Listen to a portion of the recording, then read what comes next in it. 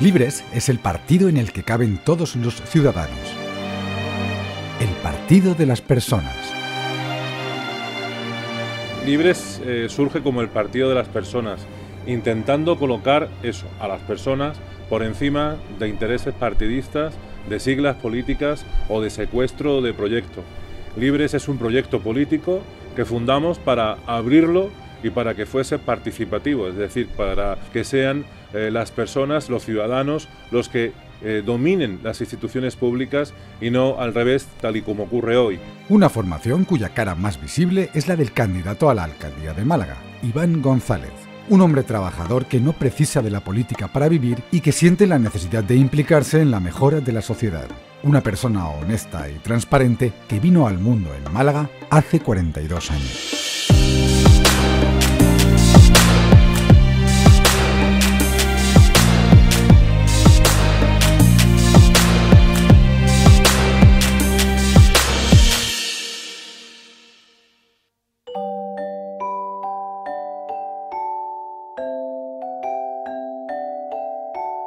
Desde pequeño mis padres me inculcaron la responsabilidad como un valor muy importante. Iván siempre ha sido un niño muy bueno, estudioso. Y a ver si era estudioso todos los años estaba en el cuadro de honor.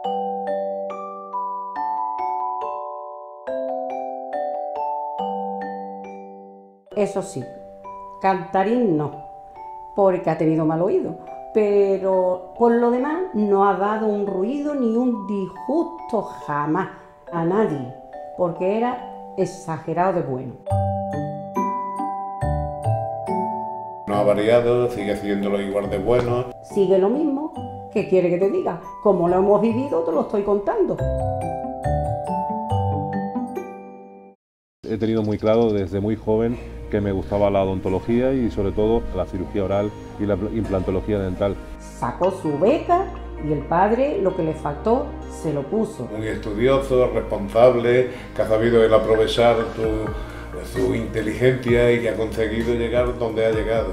No ha desaprovechado ni un solo año. Ha sido una familia muy pequeñita, muy cohesionada, muy unida me han ayudado en todo, siempre han sido un vital apoyo para yo seguir adelante y es ahora precisamente lo que he encontrado con María y mis dos hijos.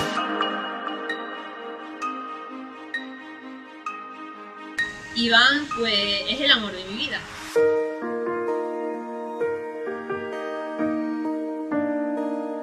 Es una persona limpia, blanca, honesta y lo que hay es lo que se ve y lo que se muestra día tras día.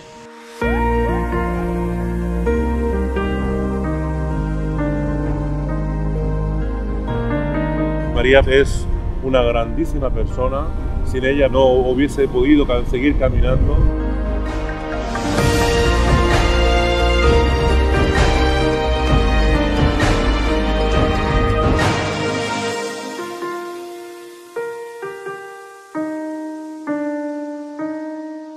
La familia, para mí, el principal pilar de mi vida. Ellos me comprenden, me apoyan incondicionalmente.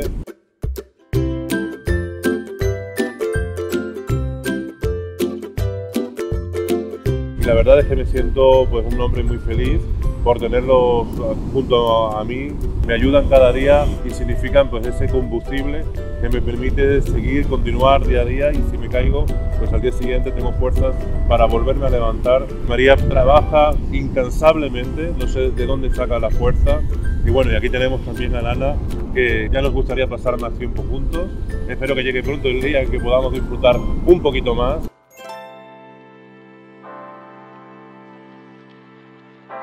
Es muy bonito Lana, el amor que tiene con toda la familia.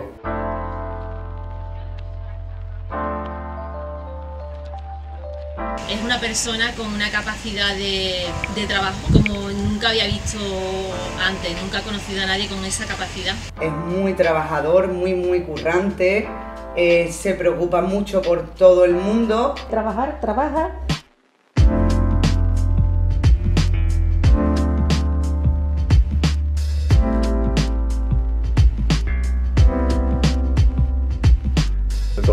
25 años termino la carrera y eh, comienzo mi andadura profesional en el Servicio Andaluz de Salud.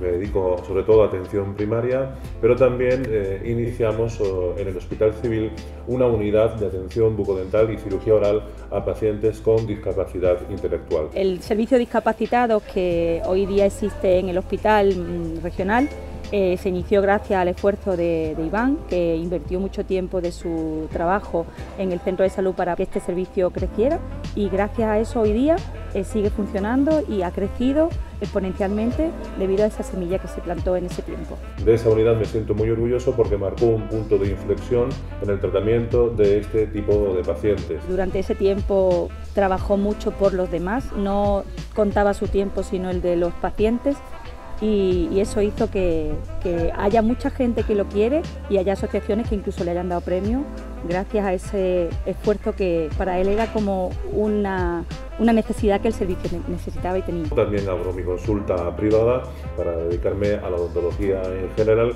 y también para la implantología dental y cirugía oral. Desde chica he ido al dentista y he tenido un dentista muy muy bueno y no he encontrado otro como él hasta que lo conocí. Supe de Iván gracias a mi mejor amiga, es muy bueno en su profesión, es un crack, es tan bueno que lo han probado toda mi familia. Nosotros somos de la línea de la Concepción y vamos a Málaga a que nos cuide la boca, ¿eh? ¿Qué vamos a hacer? Si no ha sabido ni cantar ni bailar en condiciones, pues también se está ganando la vida de otra forma.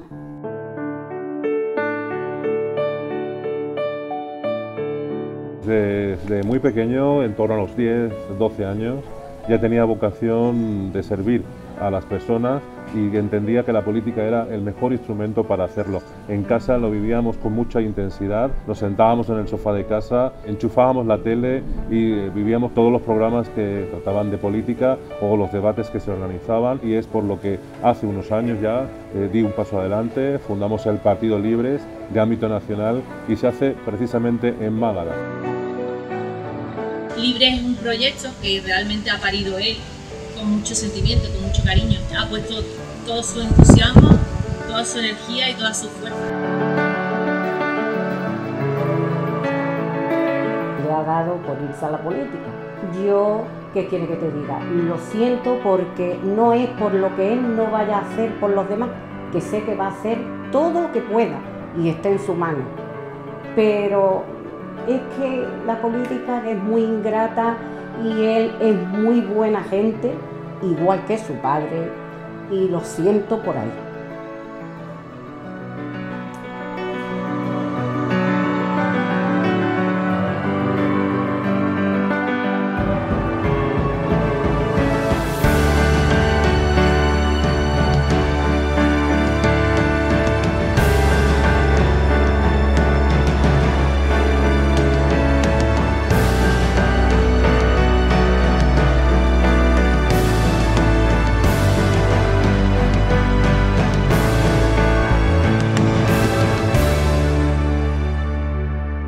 La principal cuestión que nos preocupa de Málaga es el modelo de ciudad.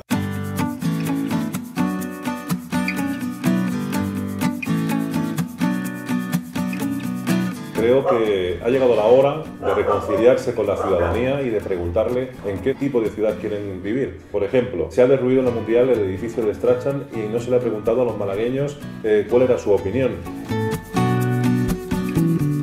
Le han preguntado a los malagueños qué opinión tienen acerca del macrotel del dique de Levante en el puerto de Málaga.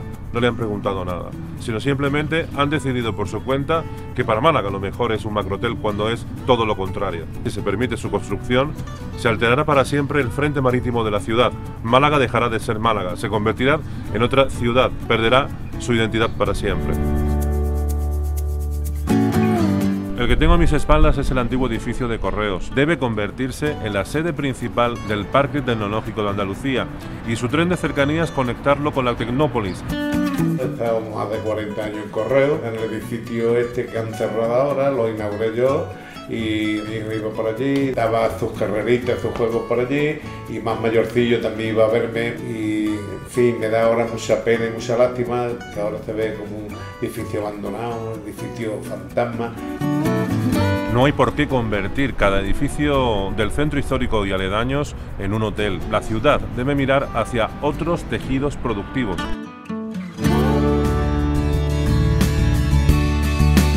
el modelo de mantenimiento de parques y jardines y de limpieza de la ciudad está completamente fracasado. Como trabajador público de parques y jardines me encuentro muy desprotegido con la falta de personas que tenemos actualmente en el Ayuntamiento de Málaga.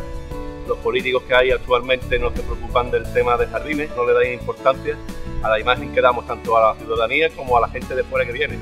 Tenemos la plena convicción de que una buena labor en lo público no tiene rival y por eso desde el Partido Libres abogamos por la municipalización de estos servicios. Otro tema importantísimo que nos preocupa es el de la seguridad de la ciudad.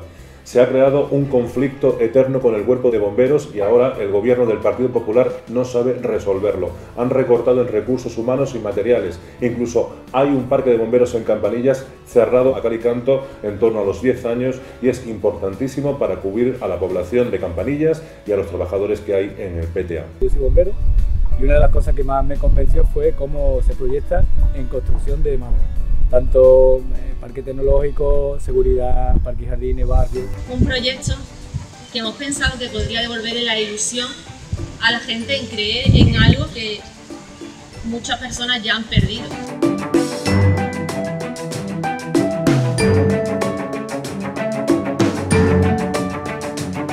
No creyendo en la política, porque no creo. Me senté a escucharlo y puso casi 50 vídeos del trabajo que hacía él, y su mujer y la gente del partido en, Málaga, en los barrios, en la cercanía, y empecé a, tomar atención hasta el punto de que empecé a creer. Y cuando empecé a creer me empecé a enamorar. Y ese mismo día me levanté y le dije, oye, cuenta conmigo para lo que haga falta. La política debería ser un acto noble. Y se ha convertido, las personas hemos convertido la política en algo feo. Y eso es lo que queremos evitar y devolver la ilusión por algo perdido, la política y mirar por los barrios, por los barrios de Málaga.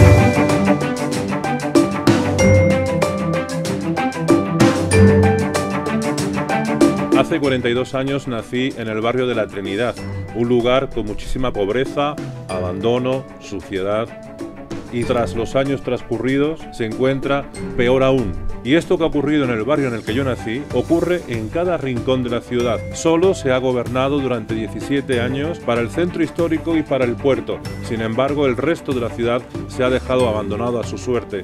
Es la razón por la que desde Libres hemos presentado esta candidatura para intentar desde el Ayuntamiento de Málaga cambiar las cosas y gobernar para toda la ciudad, para todos los malagueños, sin distinciones. Es listo, es bueno y reúne unas cualidades que puede ser útil para, para todos los demás. Ahora mismo es el único grupo que está preocupando realmente por los problemas de la ciudadanía. Hasta la presente no me defraudan nada. ¿eh? Para mí la honestidad es una cosa muy, muy, muy importante y él es una de las personas más honestas que conozco. Por fin en, mucho tiempo he creído en algo.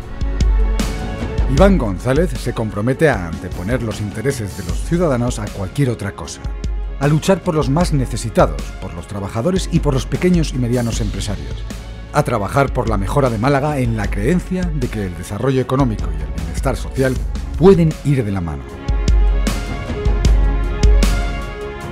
Este que ven ustedes es una humilde persona, muy trabajadora, a pie de calle que quiere trabajar por Málaga y convertirla en la mejor ciudad, no de España, sino del mundo.